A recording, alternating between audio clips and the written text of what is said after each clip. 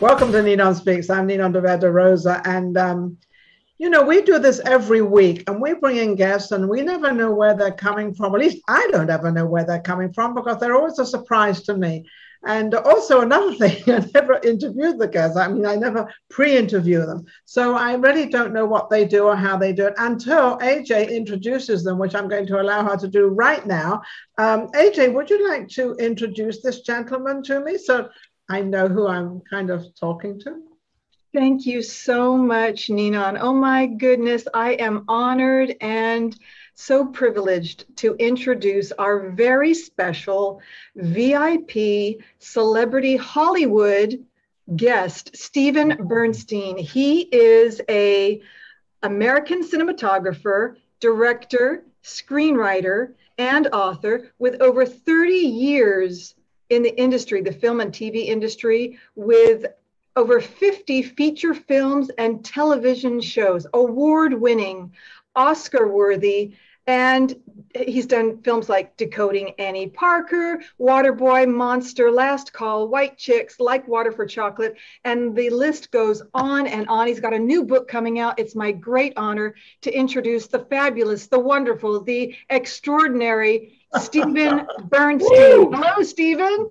Hi, I'm, uh, I'm, I'm glad you're not inclined towards hyperbole, but um, thank you. what an intro. Um, when I was working with the Wayans, um, they um, uh, uh there was an old thing used to say, which is never introduce a comedian by saying one of the funniest people you're going to hear because then the bar is so high that you can't possibly perform well. So they would make a point when they induced me to do stand up once of introducing me as one of the funniest people that you ever heard. So of course I wasn't. So I don't know if I lived up to that that uh, introduction, but uh, you are you are super. I, I, maybe I will sometime in my life, but not this evening. But thank you uh, uh for that. And you know, only only one small correction about Oscar worthy. In fact, Monster, which of course I shot with Charlize Theron, actually won the Oscar. So not only was it Oscar worthy, but it it won an Oscar. It won it as well. Yeah. You know, Steven, it's amazing, and then I I sort of get to hear a little bit of who's coming on the show and who am I interviewing and what's going on. And, you know, I lived in Hollywood. I lived in, in Bel Air, actually, and I knew a lot of the stars there and, and, you know, a lot of the people. Hal Roach was a very, very good friend of my husband and I for many, many years. So we knew a lot of stars there, a lot of people. Uh, I think I met you at one time. I recognized you, and I think I met you at one time. I didn't look like this, I was much younger. we're all i'm sure you were lovely. We're all younger once. And and uh, to meet a, a, middle-aged jewish man in hollywood it's a rare occurrence. So um, i'm sure you would remember it yes. Yeah i remember i remember it well. So you know um, after listening to aj introducing you and, and your accomplishments how are you feeling right now? How are you feeling with all, you know, you, you, she's kind of, AJ has reminded you of all this that you've achieved and all what you've done. How are you feeling? What a great question. Um, you know, it's an odd thing, isn't it? I think that's probably what you're going to is that um, we aren't our achievements. We aren't what we've done. Um, we're where we are at that individual moment. I, I think our experiences give us um, some wisdom um, and some perspective ultimately, so that we realize that um, nothing is ultimately epiphanal. Um, we also recognize that whatever small agonies we have um, will probably uh, recover. Uh, it's a matter of really perspective. So the sadness of growing old is you have um, older, older. You're older, not old yet. You have older. fewer emotional emotional highs, but you also have fewer emotional lows.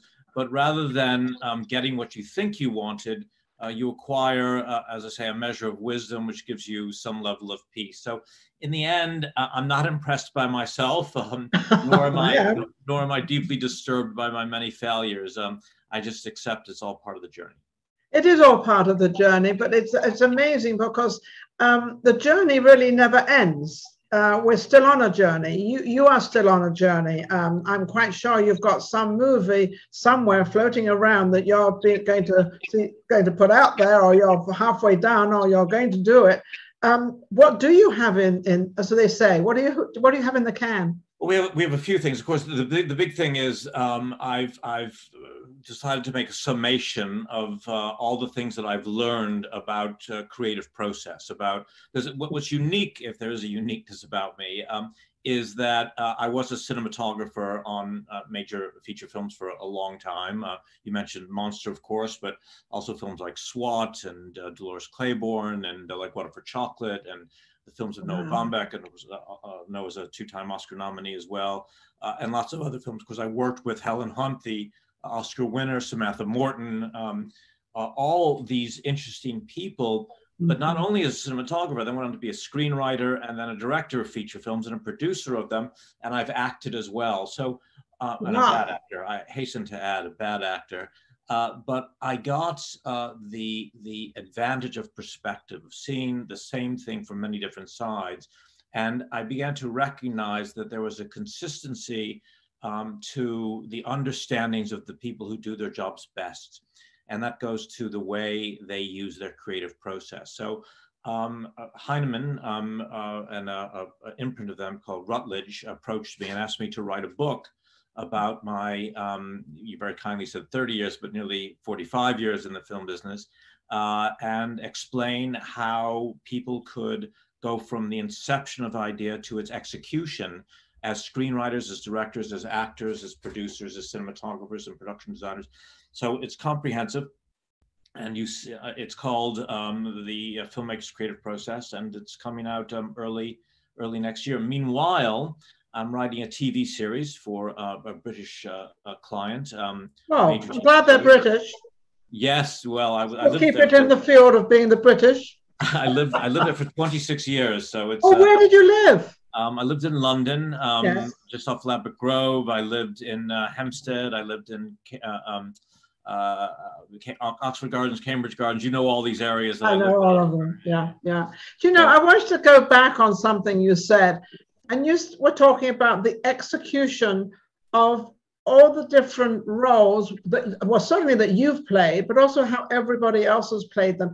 And it's so funny because we have we have it within our body and within in our minds and within eh, within what we want to do. And then we execute it. And sometimes we execute it completely different to what we had planned or what we wanted to do and how we wanted to do it. And how is that is you've noticed that a lot because you have obviously been you've played so many different roles but you've also seen so many different roles. How does that impress you with some of these very these well-known directors and producers? Well, it, you know, it's a combination of, of, uh, of planning and and then uh, discovery. Um, mm-hmm. You, for example, when we're making a film, we'll storyboard it. We'll, of course, write the screenplay, and we'll work out what we think is every single detail. And we have to. There's a fiduciary uh, obligation, in that if we're going to make a film, we have to do it with some efficacy. But then once you're on set, what I find in directing actors is there's something that's discovered by giving them some creative freedom. For example, I'll say to mm-hmm. actors if they stumble on a line, they should continue. If they feel a line isn't organic to them or to their character, uh, whatever comes to mind, they should say, trying to get them to be in the moment and to rely more on their intuitions rather than their intellect. And it's really the balance between discovering things in the moment and then planning things before you arrive on set that I think produces the best uh, results. You know, people who are anal retentive and obsessional will plan out every single thing, and then you lose creative spontaneity, and there's something magical missing on set. The same token, when everything is is unplanned and everything is improvisation, the sets become so chaotic that um, they can be a bit of a nightmare. So there's a balance so you have to keep that balance. And have to keep it in line. And i also know a lot of the writers um, you know when they write a line they want you to say that line how that line is. As a lot of them like it to be exact. But at the same time you just brought something forward about the actor might change one word or some word to make themselves feel more comfortable in delivering that line. There's even directors like Mike Leigh and, and uh, me who um, will use improvisation with actors in the pre-production to discover um, more about the character. Yeah. You know, it's very interesting when I would when I teach screenwriting. I ask my um, students if they can tell me their stories. They can always tell me their stories. When I ask them to describe their characters, they can only do a line or two because the character is serving story. But in fact, what we're all preoccupied with is the examination of the human condition, which is character. So, really, what you want to do is explore character in more detail by allowing your collaborators, your actors, to explore who these people are, use improvisation, and then integrate that into your narrative. So, when I write, I write free form without any plan, without any outline, without any idea what I'm going to write. I write to discover what I'm going, what I'm thinking, and then I go back and rewrite and rewrite it. Mm-hmm. So you're what I would say that you are, um, Steven, you are extremely creative. One thing I want to find out, I want to find out, you've done many movies, you've been honored and everything else. When you get that phone call, you get that letter, or whatever you get to say that you've been nominated, what goes through you and, and what sort of you know you've got to have that like that boom, that jump in in the heart you know you're human hmm. and you've got to have that that feeling of like me what happens it's oddly depressing um, really. It's it's uh, it's it's first you're excited um, and then there's a sense that uh, oh this is the moment i i thought i was waiting for when i am transmogrified and then you discover that you're the same person after the nomination or the win that you were before. And there's few things more depressing um, than that. Um, they say the saddest thing uh, is is not only not getting what you want, but getting what you want, discovering that it wasn't all that fantastic. Now that isn't to diminish any of the uh, recognition no. I've got. I'm delighted to have received it. But as you said right at the beginning, this journey is about something entirely different. It's about self-discovery and understanding, and it's not about being recognized by um, others. Though I am very appreciative you know, it's funny. Karl Malden, I met Karl Malden many times. He was kind of a, a, not a friend friend, but we met him. We were in his company a lot of times. And he turned around to my husband and he said, you know, he said, I have just the same amount of job as you have. He said, You have a job. He, my husband's in real estate. He said, And my job is acting. And he said, It's exactly the same thing. We, we both have a job. We both make money, uh, but we're both I'm not, I don't want to say the same, but we're both the same. You have your job, I have my job. And it was such a, a beautiful feeling of how he felt about himself because he was a very modest man. He was an incredible man. And once, you know, you get to know him, he was a little bit shy. And so, you know, these actors, everybody has this illusion about these actors and everything else, but they're just regular people, a lot of them, are they not? Uh, I think they are. I think everybody is, and with their fears and their graces, um, their inspiration and their limits and their failures. It is mm-hmm. uh, the human, uh, the beauty of the human experience. In fact, what allows audiences to enjoy performances is an empathic bridge when we see, but for the grace of God, ourselves in the performance of an actor. That's why I like imperfections in performance. That's why I like actors to stumble. That's why I like improvisation. That's why I like the humanity of the ordinary face. Um, mm-hmm. The idea of the porcelain beauty, I think, is in some ways a barrier for a real connection to audience. And as filmmakers, as artists, we're about making that uh, connection. Jim Carrey gave a beautiful speech at the uh, Golden Globes where he said, I'm Jim Carrey. Um, you know, a two-time Golden Globe winner. And yeah. if only um, I could be Jim Carrey um, a three-time Golden Globe winner, then I'd be truly happy. And of course, he's being ironic because it's not the number of awards uh, that you win that's significant. It's this more profound understanding that that uh, that we're referencing here. So you sound like, if you like Jim Carrey, it sounds like you would like to have been um, a comedian because I mean, this, this, guy was funny. Well, still is. He's a funny guy. He's gotten much more serious now of late, and of course, he's he's yes. left a lot of. Uh, the comedy behind. I don't look. I, am fascinated by by by the nature of comedy. Um, uh, it's a dangerous thing as a writer um, or as a performer because we're all so anxious for validation yeah. that a laugh, um, or if we go the other direction, a tear, seems a validation of what we've either performed or written. But very often it's not going to the bigger idea that we should be exploring that will get the more uh, profound response. So, you know, mm. comedy is a fascinating thing. And I've done, I guess I, you could say I've shot some of the biggest comedies, most successful comedies of all time. Yes. And, and White Chicks and Little Man and, and Scary Movie and Half Baked and all the rest. And I've worked with um, some brilliant comedians, but it's very interesting how intellectual comedians are because in the examination of comedy really becomes an examination of cinema and of art. If I don't sound too pretentious, but I think it's true. I, I think you're absolutely right. And I think sometimes the comedians like to let people know that they can be serious as well. Um, AJ, I know you're sitting there, you're dying to ask Steve something. Go ahead. I really am. I have a dozen questions, but I'll just narrow it down to one or two. Um, Steven, I just wanted to ask you what was it like working with John Malkovich?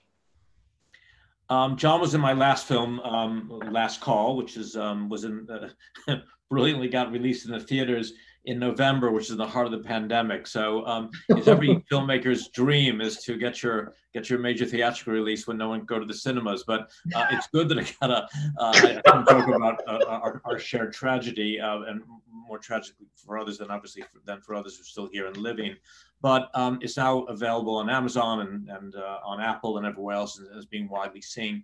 You know, John is a delight. Talk about comic. Uh, he has great comic uh, timing, a great understanding of, of people, a great collaborator.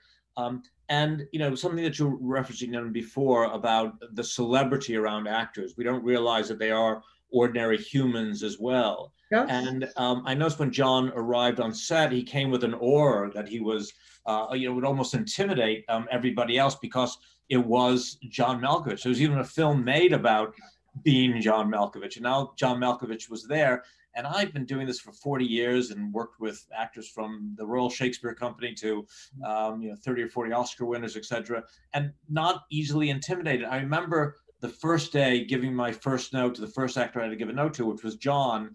And as I walked the long way, because it was on the other side of the set, I heard my secret voice, which I hadn't heard since I think I was 11. Uh, you're about to give a note to John Malkovich. You're about to give a note to John Malkovich. You're about to give a note to John Malkovich. I came up to John and I, I said, John, it was great um, for the most part, but I was just thinking, would he be thinking and gave him the note? And I waited and then the little child voice said, "You just gave a note to John Malkovich. You just gave a note." And John said, "Great note. Yeah, let, us do it again. I, have got an idea." And he did it again, and it was it was better. so it's yeah. funny how the fictive world and the real world conjoin. And uh, you know, I often say the real world doesn't seem real until it resembles fiction because we live in our fictional world more than we do in our real world. So in that sense, um, I gave the fictional John Malkovich a note and the real John Malkovich uh, validated me. So he came out, and that's gave, beautiful. Thank you so much for that. Thank you, Steven. Go, you haven't. You said you had a, another one, AJ. I'm giving you lots of time here. Go ahead. I do. Thank you so much, Ninon. Um, I wanted to ask you, John. Um, I, we we talked about John. Uh, Shame John uh, isn't John, but John. Steven. I knew I knew you would like that because you just said a moment ago, Steven, that you like the natural. So that's me. Um, well played. Played, AJ. Well played. Thank you. Who are your favorite artists who inspire you, Steven? Well, I'm, I'm, I'm delighted to have worked with every actor I've worked with, and none of them are ever difficult. So let me say that officially. And my publicist, it was literally in the next room, will be happy to hear me say that. Um, and I wouldn't work very long if I had a complaint about any of them. Look, um, the creative process, which is what my book's about, my new book's about, is a difficult thing. And as Ninon was referencing before, everyone gets there in a different way. And sometimes um, actors um, struggle to get there, and it means that those around them um, um share or witness that struggle, which means it can be difficult. So uh, it doesn't mean they're a joy to work with, but the result is a joy. So I am fascinated by all people in all their complexities, um, their, as I said, their grace and their limitations and to watch how people who very often are in their own way overcome those obstacles and achieve things I always find fascinating. So I can't think of an actor I prefer to others because actors who are less skilled, um, I enjoy watching them still give skilled performances. And those who have a natural ability, uh, I marvel um, at um, the, the, the, what, what they've been given. As for who I admire, um, I think people like Charlie Kaufman, um, who is one of our most important screenwriters, an iconoclastic, original, who bucks the orthodoxies, who violates all the rules of the system and creates things of real original genius. Um, that's difficult. Um, as I said at the beginning of our talk, uh, there's so much financial pressure when we're making films to guarantee a return, to do things as they've always been done, to follow the rules and the orthodoxies. Because if you violate them and you fail, um, they presume you violated because you, uh, you, you changed the rules. To uh, change those rules and succeed is an act of great courage. So Charlie Kaufman's done it on films like uh, Adaptation and Being John Malkovich and, and others. Uh, Mike Leigh, who I mentioned earlier, who uses improv, again, has revolutionized the way we approach the film. John Cassavetes uh, was another mm-hmm. one, um, mm-hmm. Orson Welles. It's the people who do things differently, which give us as artists new eyes to see the world. Um, those are the people um, that I uh, admire. Not that those who I work with in the industry who are very successful, who are more conventional in their approaches, aren't to be admired in their own way but there's a special courage needed in film to take risks because when you fail in film, uh, forgiveness is slow coming. Very slow coming. I love that. Yeah. Question I'd like to ask you is um, what sort of movie or what do you think that should come out now? We've gone through an awful lot of havoc. We've gone through this staying home. We've we're all wearing these masks and hiding our faces and all i mean a, a, lot of people have taken on different roles as to what we've all been through what would you like to see coming out now to sort of um, calm everybody down which i don't think that's going to happen but to sort of you know bring back life or bring back something it's a great question you know um, there's certain well there's a great tv series out right now called ted lasso. I don't know if you've seen it but um, it, it, it, it's uh, a, a, a, an american who's transplanted in the uk and the show is it's about many things but it's principally about kindness which there's a long strain in american cinema in particular of populism going back to frank capra um, and others like him. Um, Francois Truffaut in France was another of that same school, Renoir, which goes to our shared humanity um, the, the kindnesses that we can uh, offer each other, the decency and the righteousness of ordinary uh, uh, humanity, uh, I, I, think is what we very much all need. Because ultimately, despite all the contentiousness, um, we, there's more that we share than, than makes us separate from each other. Uh, most of all, we all suffer. We all live in fear. Uh, we all have a need. we mm-hmm. all need love um, these things, for whatever our persuasion or view is, are universal. And it's significant and important that we remind each other of that. And who is to do the reminding are our artists, um, which yes. include film as our arts. So, as artists, I think we need to say to each other, uh, let's act with decency, but also let's act with understanding. Because mm-hmm. generally, the worst and most aberrant behavior comes from fear rather than real malfeasance. So I, I, think that's what we need, or at least I need to, to do. You mentioned comedy. You know, mm-hmm. comedy very often isn't taken seriously, but what is more uh, delightful than to cause someone else to laugh, to find some small uh, joy um, mm-hmm. in, in, in, in their darkness? I think you're right, Nina, though, that we have to put this world back together. Uh, yes. Uh, and to do that, there has to be a commodity, a commodity of, of purpose um, or a vision of purpose. And to that, I think it, it goes to this, this concept of shared decency. I, I couldn't agree with you more. And the reason I asked you that question is because you're in the entertainment business. You bring out films, you write films, you see films, you see actors, you see these people presenting to the world. And a lot of people look at it and take notice of it and, and want to follow it. They want the excitement. They want. So I'm, i was thinking it would be great if we could try to get a movie out there or something for the yeah. world, not just for America, for the world, and try to bring people back together again. We are all human. I don't care what color we are, what religion we are. I don't care. We're all the same. We've got females and we've got males, and this is what we have. And it's all over the world. We might have different color skins and we talk different languages, but basically we're all the same.